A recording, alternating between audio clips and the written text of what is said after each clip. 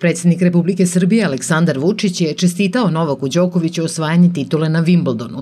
Čestitku je uputila i predsednica vlade Ana Brnabić. U čestitki predsednika Srbije je navedeno Upućujem vam iskrene čestitke povodom osvajanja pete titule na jednom od najprestižnijih teniskih turnira na svetu. Što je izazov veći, to je vaša igra odvažnija. Što je protivnik jači, to je vaša želja da pobedite impresivnija. Vaša igra oduvek je bila i sa svakom novom pobedom jeste sve veća inspiracija svim građanima Srbije. Svaka čast za borbenost, istrajnost i doslednost kojima već godinama ostvarujete rezultate dostojne vrhunskog sportiste i najboljeg među najboljima, navodi se u čestitki predsednika Vučića. Čestitajući Đokoviću na osvojenom trofeju, premijer Kana Brnević je poručila Čestitam Novaku Đokoviću na osvojenom Wimbledonu, još jedna Grand Slam titula kojim ste dokazali da ste jedan od najboljih tenisera u istoriji. Srbija se ponosi vama.